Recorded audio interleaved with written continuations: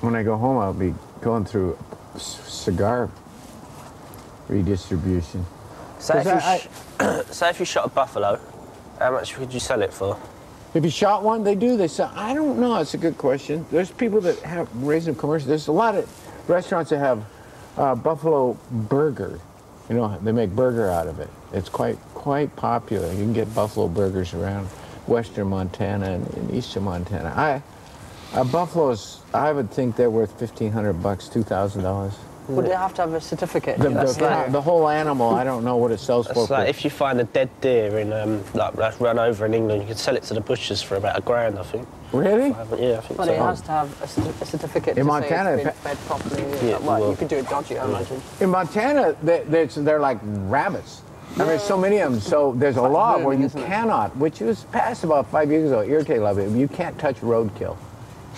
If you if you hit a deer and then it's wounded and you shoot it in the head, you can't take it home, or you can't. Really? No, fish and game comes and they get them, and if it's fresh, they take the meat and they distribute it to poor people. But uh, most of it goes goes bad. They just it's just you drive down roads and it's just dead deer all the way down the road. I mean, there's you know so so many of them, whitetail and mule deer. What, does somebody come and collect them and clean them up, or? Nah, they rot in carcasses. And, Yeah. But they they get them off the road, and uh, if it's fresh, the the fish and game, or you can call, they'll come and they'll collect it. They take it and they butcher it and they take the meat to homeless shelters and stuff.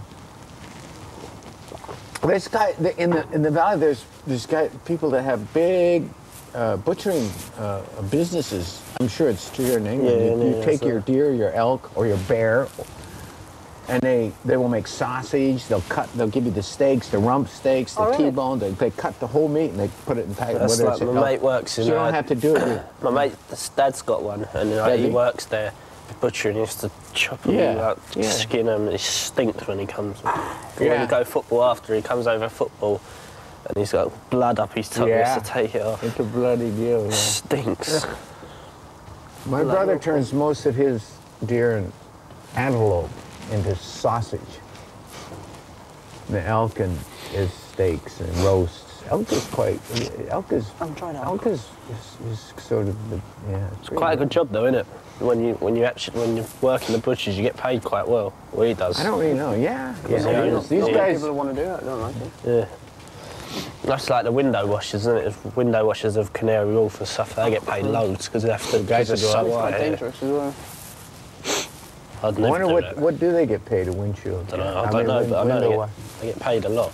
Yeah, if it's life-threatening, I imagine. Oh yeah, I wouldn't do that. And you know, New York. I, I mean, London too, but New York's probably got more sky, those. bi- You like the World Trade Center was, Skyscrapers, yeah. Like, and they had know, window on those all the way to Mm-hmm. the top. You'd see them hanging. yes, You know that uh, the light on top of Canary Wharf. There's one man who has to. This is what I've heard. I think this is true. One man who has to do it. And I think it's changed once a day or once a week, and he gets.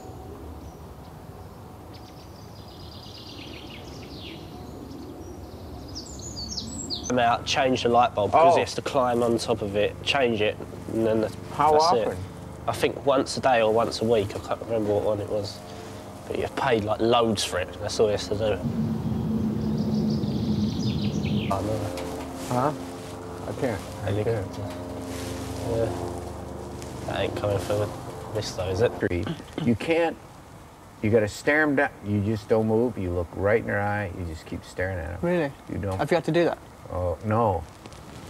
I don't go with it. I, I try and. Uh, I've seen a lot of black bears. They're but they're different. They're you, they will move if you yell at them.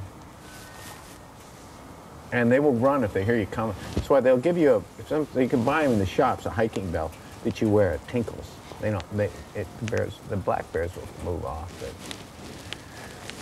grizzlies they prey on they, which is why I like them. They, they have no fear of, of men. No, no fear.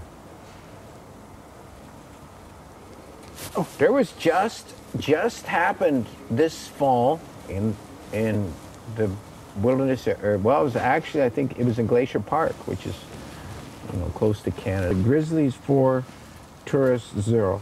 I don't think you should.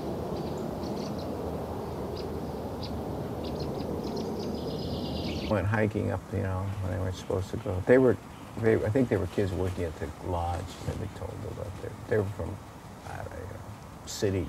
They didn't realize. I ate all of them.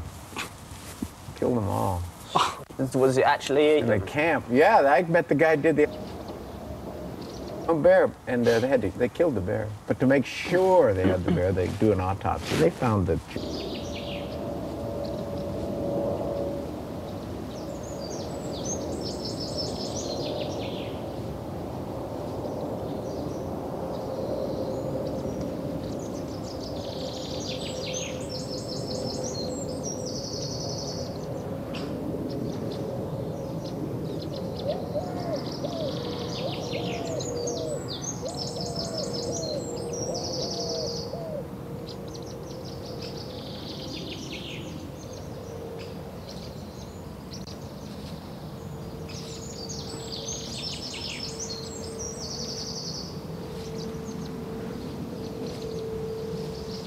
Really? no. Yeah. That's a true bit. But it's some of the pictures that they developed Oh yeah, yeah. of the real people. Mm. Mm. Huh? God, that was a scary film. Whoa. Well, because most movies there's some kind of happy ending. But no. Yeah, I kind of, Just I kind of figured out. I said no. That's the most thing I hate sharks. Just because you can't see underneath I you. hate them too. I won't go if there's even. No. I, I'm terrified. I just hate things where I can't see it. When I can see it, then I'm not scared. And I found it was my shadow just below me.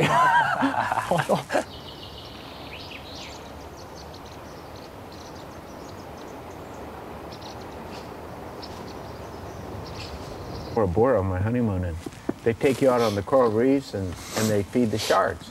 And you get out of the boat with a snorkel and you go into the water. you snor- And the guy, the native, they've got a rope.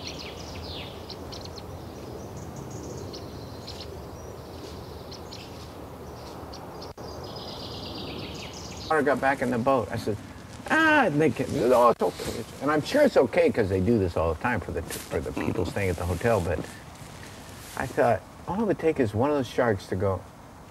They had an actual rope underwater. Well, they didn't want you to say, don't go past Like a barrier. this rope. Yeah, it was for the people. But and the sharks are swimming. They come up and then he put out these chunks of meat. They just-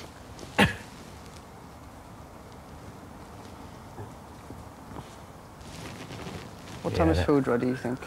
that movie, Open Waters. I just remember scared once me. we was on a pedalo in Spain, and I jumped off. It was in the middle. Jellyfish was outside to swim mm. under, underneath the jellyfish to get.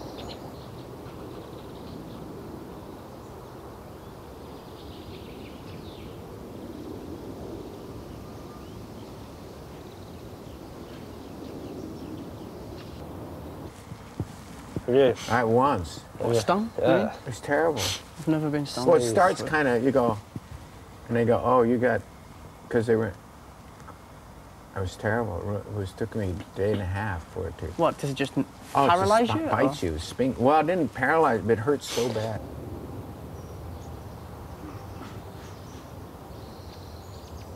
This was in Antigua in the Caribbean, and we were we were going from the hotel over to this place where they have cocktails and a band.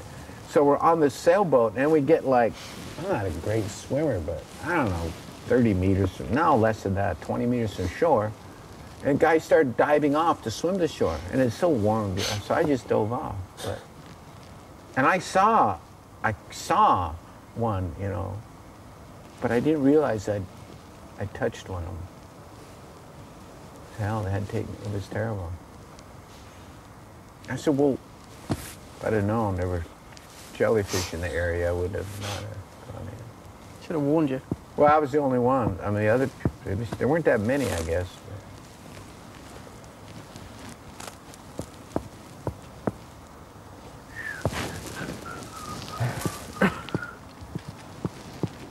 That's the best thing to do. that- That's what they say. If you get to... Oh, it's food on the table, I think. Is there, Yeah, going in come on. right now. Coming in, Dirk. I'm gonna finish this. Do you want to put, should I put a shawl on you?